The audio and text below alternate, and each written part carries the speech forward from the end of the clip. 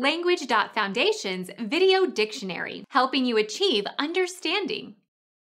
A newsletter written by an analyst of the stock market and sold to subscribers.